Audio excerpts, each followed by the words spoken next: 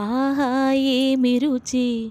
అనరామై మరచి రోజు తిన మరి మోజే తీరనిది.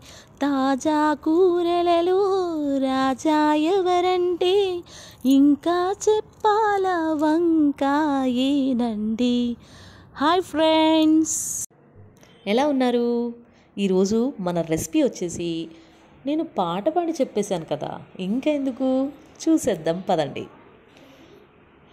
ధనియాలు పచ్చిశనగపప్పు మినపప్పు జీలకర్ర పల్లీలు నువ్వులు కరివేపాకు కొత్తిమీర ఉప్పు కారం పసుపు వంకాయలు పొట్టు తీసి పెట్టుకున్న టమాటాలు చింతపండు కొంచెం అల్లం వెల్లుల్లి పేస్ట్ ఆనియన్స్. ఇవన్నీ కట్ చేసి పెట్టుకోండి. వంకాయలు మాత్రం కొంచెం ఉప్పు నీటిలో మాత్రమే వేసి ఉంచేసుకోండి.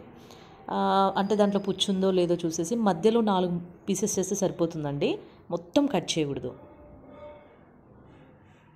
మొత్తం కట్ చేయకుండా అంటే నాలుగు ముక్కలు నాలుగు భాగాలుగా మాత్రమే చేసి ఉప్పు నీళ్ళలో వేసుకొని ఉంచుకోండి.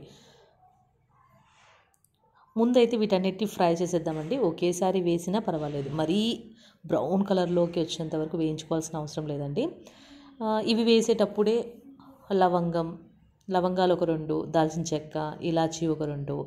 అంటే మళ్ళీ స్పెషల్గా మసాలాలు ఏమి వేయట్లేదు అనమాట ఇవి వేస్తే మనకు సరిపోతుంది. కొంచెం చల్లారిన తర్వాత పేస్ట్ చేసుకోండి.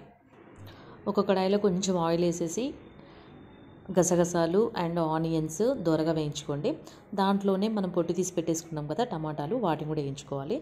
ఒక నాలుగు పచ్చిమిర్చి ఒక మూడు ఎండుమిర్చీలు అవి కూడా వేసేసి మళ్ళీ కాసేపు వేయించుకోండి. అవి కూడా చల్లారిన తర్వాత వీటన్నిటిని మిక్సీ చేసుకొని రెడీగా ఉంచేసుకోండి ఆ పేస్ట్ని.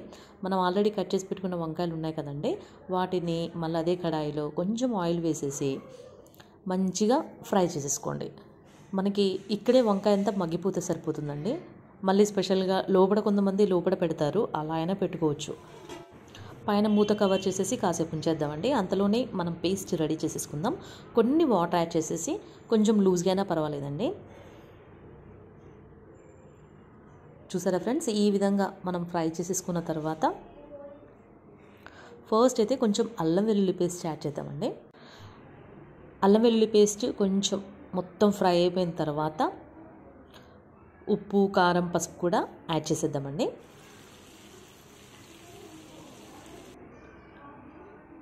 కొంచెం వంకాయలకి బాగా పట్టిన తర్వాత మనం రెడీ చేసేసుకొని ఉంచుకున్నాం కదా పేస్ట్ అది కూడా యాడ్ చేసేద్దాం. ఇది యాడ్ చేసిన తర్వాత కొంచెం వాటర్ అనేది పడతాయండి. ఒక హాఫ్ గ్లాస్ వాటర్ అయితే మనకు సరిపోతుంది. వాటర్ పోసేసి ఒక ఫిఫ్టీన్ మినిట్స్ వరకు కుక్ చేసుకున్నామంటే చాలు. ఎంతో టేస్టీ అయిన వంకాయ కూర్మా ఇస్ రెడీ దీన్ని పలావ్తో కానీ బిర్యానీ మీ ఇష్టం అండి. ఏదైనా కానీ ప్లెయిన్ రైస్లో కన్నా వీటిలో చాలా బాగుంటుంది. నచ్చింది కదా? కంపల్సరీ రెసిపీ ట్రై చేయండి. ఓకేనా ఫ్రెండ్స్? ఈ వీడియో కనుక మీకు నచ్చినట్లయితే లైక్ చేయండి షేర్ చేయండి సబ్స్క్రైబ్ చేయండి. కొత్తిమీర పుదీనా అండ్ కరివేపాకు వేయడం మాత్రం మర్చిపోదు. Bye foodies